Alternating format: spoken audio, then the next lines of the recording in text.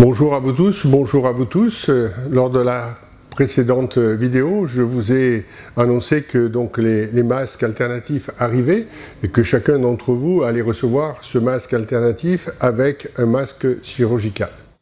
Ce masque alternatif et ce masque chirurgical ont pour fonction de, vous protéger l'un et l'autre, mais surtout les deux ensemble. Et donc, euh, je vous recommande d'en faire le meilleur usage et de continuer à faire ce qu'il faut pour être dans les conditions de sécurité les meilleures.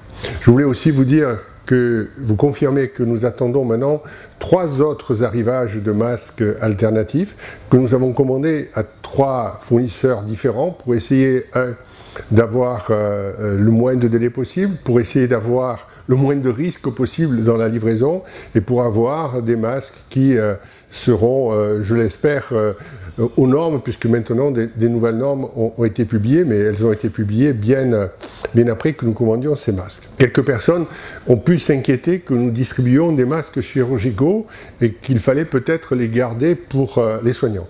je rappelle que sur Sanary et au-delà de Sanary, nous avons distribué euh, plus de 50 000 masques FFP2 ou chirurgicaux à tous ceux qui nous en ont demandé au niveau des professions de santé, notamment donc les, médecins, les infirmiers, etc. Et nous en avons donné aussi aux personnes les aides à domicile. Nous en avons donné bien sûr dans les maisons de retraite, de telle façon que le personnel soit équipé au mieux. Je voulais euh, simplement euh, vous dire que dès le début euh, du confinement, comme nous avions des masques comme j'ai constaté euh, qu'on en manquait de partout et surtout dans, les hôpitaux, j'ai immédiatement appelé l'hôpital de Saint-Emus à Toulon et l'hôpital de Sainte-Anne à Toulon, l'hôpital des armées, et je leur ai proposé euh, des masques. Donc ils m'ont demandé de leur en mettre un millier de côté chacun, des FFP2 et des chirurgicaux. Donc nous les avons en réserve. Ils m'ont demandé de les garder dans le cas où ils en auraient un besoin urgent. Il semble qu'aujourd'hui ils soient approvisionnés. Je leur ai proposé aussi du gel, ils en avaient. Donc euh, voilà, nous avons fait le travail du mieux que nous pouvions pour euh, non seulement préserver ceux qui nous soignaient à Sanary, mais aussi préserver au-delà, euh, avec nos moyens bien sûr, qui étaient ceux que nous avions constitués, euh, ceux qui sont autour de, de, Sanary, parce que si on protège bien Sanary, mais si on protège bien autour, eh bien on réduit le risque sur le territoire de, de notre commune. Et la deuxième raison, c'est que je suis intimement convaincu que dans des périodes comme celle-là, eh bien il faut une vraie solidarité, et la solidarité, ce sont des actes que nous posons. Aujourd'hui, je suis dans, un lieu un peu différent puisque nous avons mis en place, il y a quelque temps maintenant, un centre de dépistage alors vous avez vu, vous voyez bien que nous n'avons pas attendu que le Premier ministre ou le Président de la République nous demande de le faire.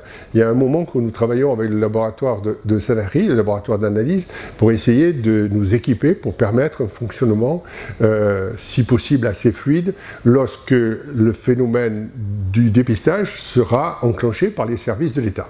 Donc aujourd'hui, nous sommes en ce lieu, nous allons le, tester avec des volontaires et vous serez informé lorsque il sera ouvert après les soignants à d'autres personnes. Donc ce n'est pas la peine de vous inquiéter. Sachez simplement que nous sommes encore dans ce domaine prêts à intervenir.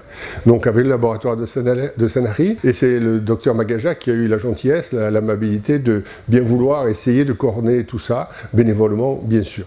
Donc euh, voilà, ici ce centre de dépistage est prêt à fonctionner.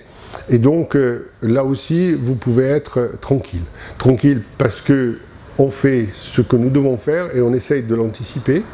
Et ensuite, pour les masques, ces premiers masques vont, vous être distribués à partir de lundi. Je voudrais dire à ceux qui sont inquiets de ne pas s'inquiéter. Encore une fois, vous passez un petit coup de fil, attendez, euh, pas dès aujourd'hui, attendez de voir si vous recevez cette, euh, convocation qui est à la fois intéressante dans la mesure où elle vous dit que c'est tel jour, à telle heure, à tel endroit, et qu'il faut amener, euh, bien entendu, la convocation, il faut amener la fiche de la taxe d'habitation, si vous ne l'avez pas, vous amenez votre livret de famille, et bien entendu, vous remplissez votre autorisation de sortie.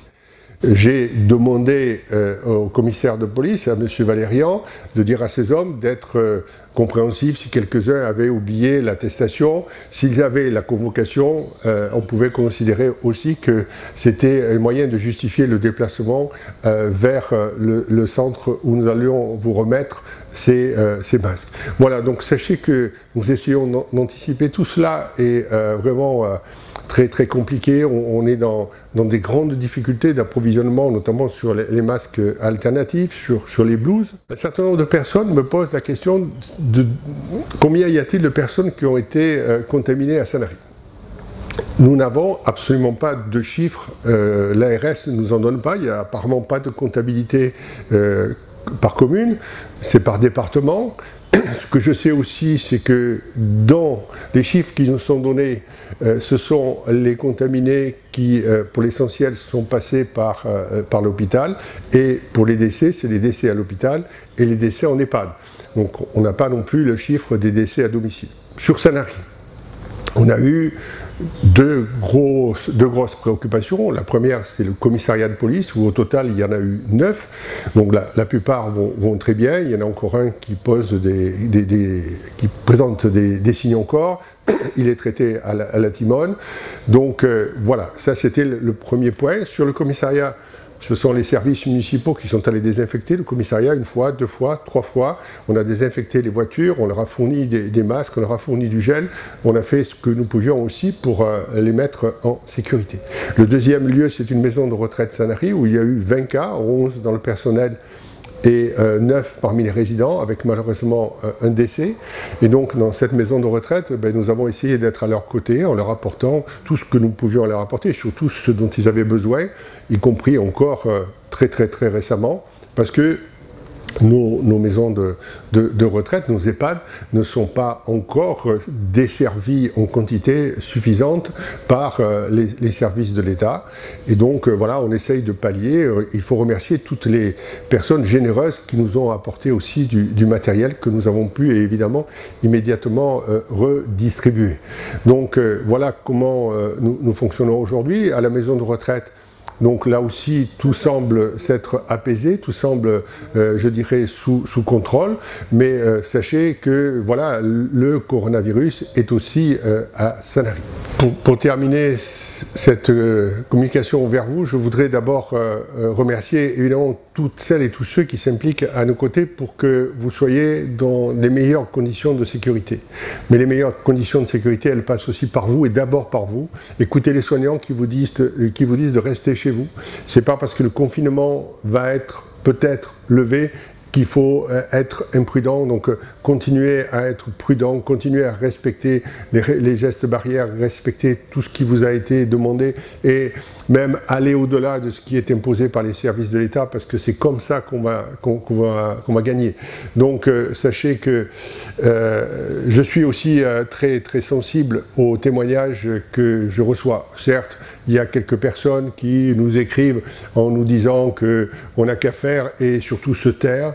Euh, si nous n'avions pas fait ce que nous avons fait, eh bien, euh, aujourd'hui, il n'y aurait pas beaucoup de masques qui auraient été distribués euh, à Sanary, ni de gel, ni bien d'autres choses.